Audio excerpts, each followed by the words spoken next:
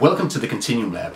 In this video I'm going to show you my secret to making breath pressure sensors for my different MIDI wind instrument controllers by building and demonstrating three different designs including this very special sensor configuration here which is bi-directional. These sensors are super cheap to make because I use mostly recycled materials and very simple components. They're based on my open horn MIDI system project and as such they are very sensitive and responsive. I'm going to start with the truly minimalist sensor setup. For this I'm going to need a few simple things. First of all some corrugated cardboard. This is going to form the basic structure that holds everything together. Next I'll need a water balloon. Balloons make great membranes for different kinds of sensors. Also, kids' toy balloons can be trusted to be non-toxic, which I think is important when making breath sensors. I also use this food-grade silicone tube. The sensor in this breath sensor setup is the CNY70. I use my custom CNY70 sensor module for this, which makes it really simple to use. The last thing I need is a piece of plastic. It also needs to be food grade, so I'm recycling it from this food container.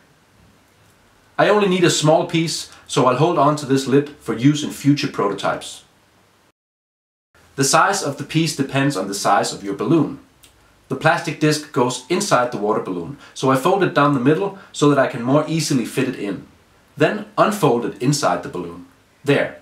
The disc holds the balloon in a flat shape so that the expansion when I blow in the balloon happens along one well-defined axis, which I will then be able to measure with the CNY70 like this. Now I just need to make a simple structure to hold everything into place. Corrugated cardboard is easy to fold in predictable patterns by crushing one layer along the corrugation where you want the fold to be. This kind of construction is surprisingly strong. I make a rectangular shape like this. One side of it is defined by the necessary distance between balloon and sensor.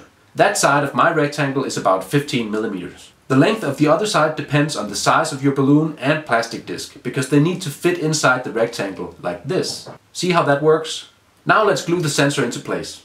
Hot glue is fast and offers a relatively strong bond. Also, as you will see, it's quite easy to remove from the sensor module once I'm done with this test. Okay, time to put everything together. I could glue the rectangle shut, but this rubber band does the job just fine and allows me to access the sensor afterwards non-destructively. The final touch is an exit hole for the air pressure. Just cut a small hole, smaller than the inside diameter of the tube, in the side of the tube like this. Now I can blow continuously in the tube and vary the balloon expansion by blowing harder or softer. This breath sensor is done. Now we need to connect it to the microcontroller to be able to read the CNY70's output. Of course, I used one of my sensor modules for this build, so all I need to do is plug it into my Teensy LC breakout board and we're good to go. Then I put some simple code onto it for the initial test. This code just outputs the reading straight to serial. Readings are good, sensitivity is good. Now let's try something more fun. Here's a slightly more advanced bit of code which takes the readings from the last example, maps them onto MIDI range and then outputs them to MIDI. Upload that, open up the Yoshimi synthesizer and connect everything together with Jack. Let's see if it works. Yes, it works just fine. Now, if I was to use this in an instrument, I would include a filtering function in the code. But for this proof of concept, it's fine the way it is. So that's pretty much as cheap and simple as it gets for a fully functional breath sensor. Uh, it's also quite a compact design, which of course is practical if you want to try to fit it inside an instrument. So with a bit of care and tweaking, this sensor can be quite good. But there are of course other designs which offer superior sensitivity and responsiveness. But before I go on with those, um, I want to share some news with you. As of this week, I'm offering a workshop which covers the designs from this video, plus other instruments, sensors, techniques, and much, much more. As part of this new plan, I'm also getting ready to set up a web shop where I will be selling kits with my custom electronics, including everything you need for those who want to follow along with the videos and build their own instruments. These kits include important updates to the Teensy LC breakout board and the sensor modules that I'm currently using. I'm still waiting for a lot of these materials to arrive and as soon as they do I will start a new series of build videos using the new hardware, so expect more on that soon. Anyway, on with the building. So the next kind of sensor is a little bit more complex to make, but perhaps also a little bit more stable and sensitive. This sensor uses the BPW34 photodiode paired with a 3mm LED. Both are mounted in my practical modules together with the necessary circuits and resistors. This breath sensor setup has a larger pressure chamber, which I will make out of this lid. Again, just like in the previous setup, this is a food grade item. The membrane in this breath sensor is also made out of a balloon and we will also need a rubber band. The pressure chamber will need to have two tubes going into it. A large one as the entry tube and a slightly smaller one for the exit. So I will also need to make two holes in the bottom of the chamber. Let's find a suitable drill bit. I use a drill which is slightly smaller than the silicone tube so that the seal between the chamber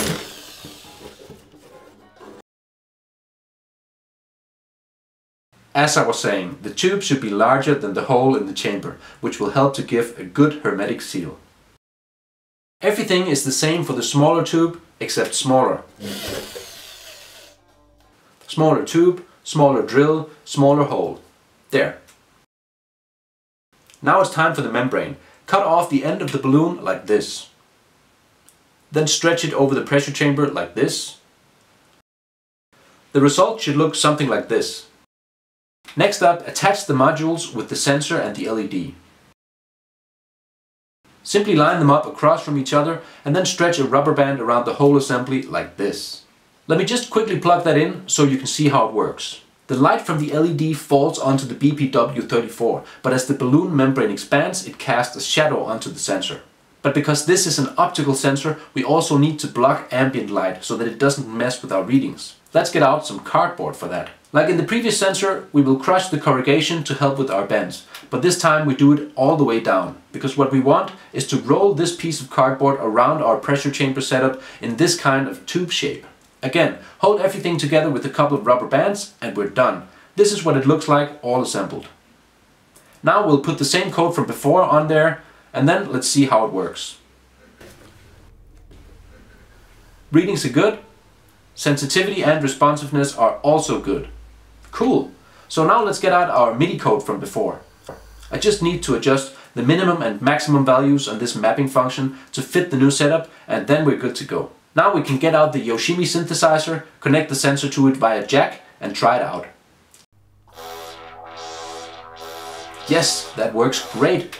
This breath sensor is quite a bit more sensitive and responsive than the previous one, which is why this is my go-to solution for breath sensors on my instrument prototypes. The other reason why I really like the setup is that it's great for workshops. You can clearly see the shadow gradually covering the sensor and so the functionality of the sensor is plainly visible which is very didactic. The CNY70 which I used in the previous sensor setup uh, is arguably a little easier to use but it uses uh, invisible infrared light and so it's a little bit less useful for demonstration purposes. The final sensor that I want to show you is the one that I teased at the beginning which measures both positive and negative pressure. Think of a harmonica which is able to play different notes depending on the direction of the airflow through it.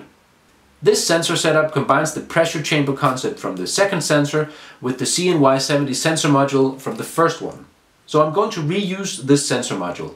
As I mentioned, it's not hard to peel the glue off of the back of the module. I won't be needing the BPW34 or the LED, and this black balloon is no good either. The CNY70 senses reflection, so let's get a balloon in a more reflective color.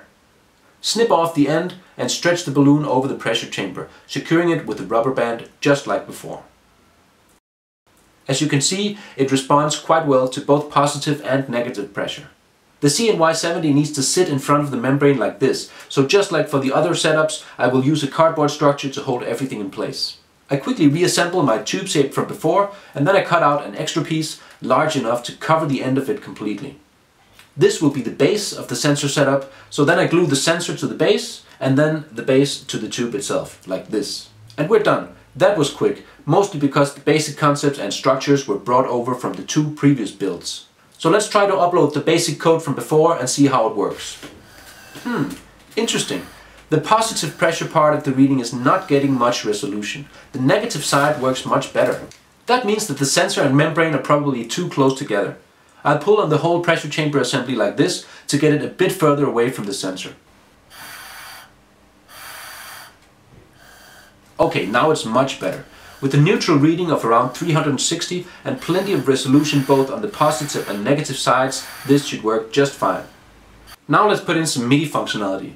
I had to expand the code from the other two builds so that this section of code is used if the reading is below this threshold here, while this other part is used if the reading is above this other threshold here, corresponding to the positive and negative pressure ranges.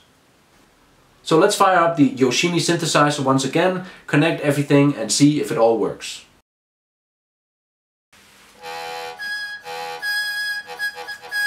It does indeed work just fine.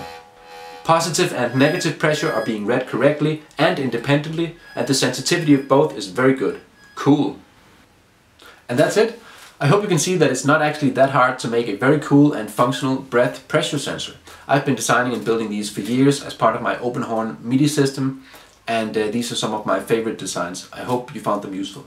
If you're interested in learning more about DIY sensors and how to make your own MIDI controllers, then make sure you subscribe to this channel here at KontinuumLAB and follow me over on Instagram, also at KontinuumLAB, for more news on my workshops, experiments and prototypes. Take care until next time and I'll see you in the Continuum.